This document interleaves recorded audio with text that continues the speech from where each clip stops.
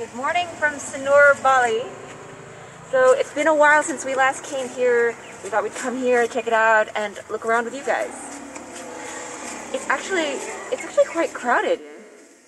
I mean, like, we were actually planning to go to the first beach on the left over there, but they turned us away because they had no parking space. And here, I mean, like, it's so early, but parking is already very competitive. Let's go check out the beach.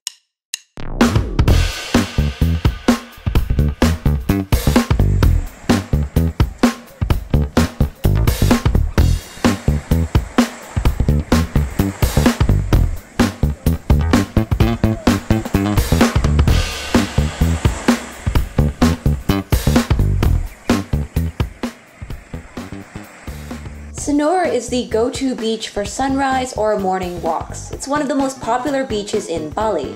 It's just a very alluring beach with its good morning vibes. Sidewalks are very well paved along this 5 kilometer long shoreline that's divided into several individual beaches with their own names. So it turns out that this is the lane for walking and the other lane is for riding a bicycle. You can choose to walk or cycle, the lanes are different, but the traffic is a mix. This is also another classic of Sanur, these water breakers. And of course, the Jukung. After all, this used to be a fishing village.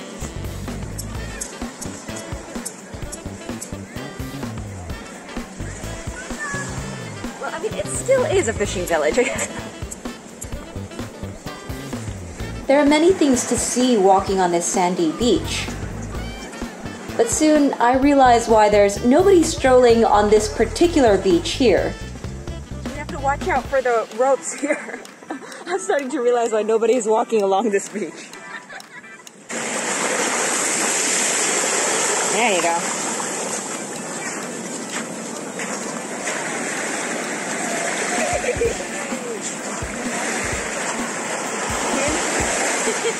Morning! There are many signs reminding visitors to mask up. Most people do put on their mandatory masks, and business does appear to be slowly coming back, either through creative marketing oh, or competitive pricing. It's hard to say everything has returned to normal. Most hotels and villas are still devoid of visitors staying occupancy rates must be quite low. But there's no lack of local visitors crowding Sanur. There are many beautiful things to see on this beautiful beach. So this is one of the landmark statues of Sanur.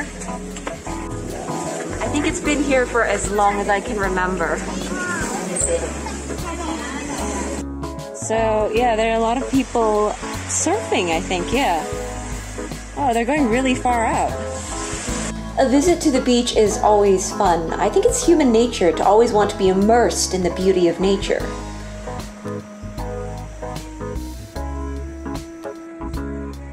Now, let's check this out.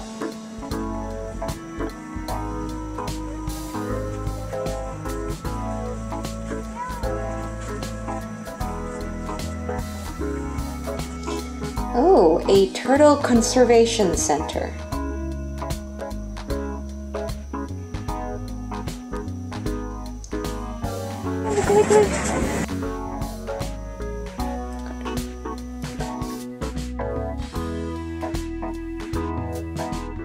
Most people come to Sanur on motorbikes. Sanur is a public beach. There's no entrance fee.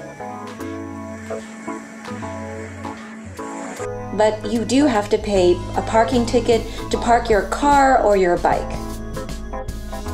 Of course, it's not easy to describe what it's like to be at Sanur Beach in the morning.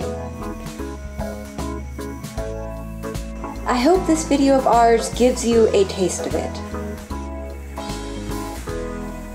So that's it for today. Thank you for watching and bye!